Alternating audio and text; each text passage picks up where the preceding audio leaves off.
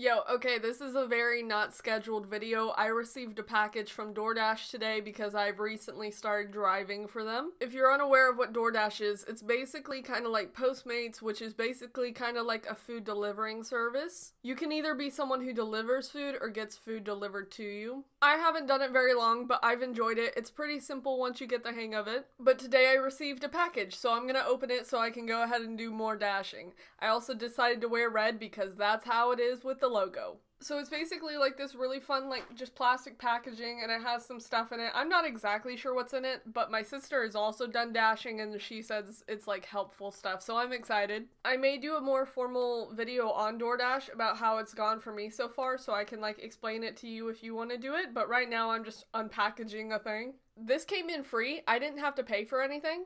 It's kind of sticky, so I'm gonna just like cut it. Ooh, okay.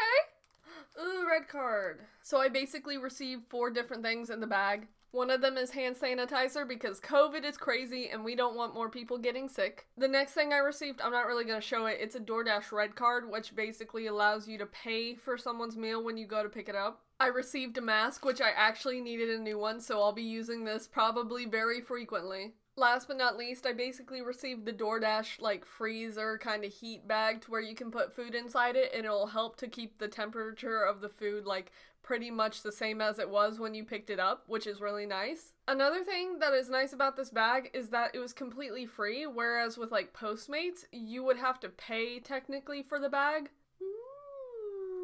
The mask feels pretty comfortable, like I don't feel like it's too small, so that's nice. But yeah, that's basically it. Super simple and short. I just wanted to show you what I got and I'll hopefully like explain DoorDash in a general video and how it's been going. So thank you for watching. If you have any questions about like how it's been going for me so far, let me know. But that's it. Thank you. Bye.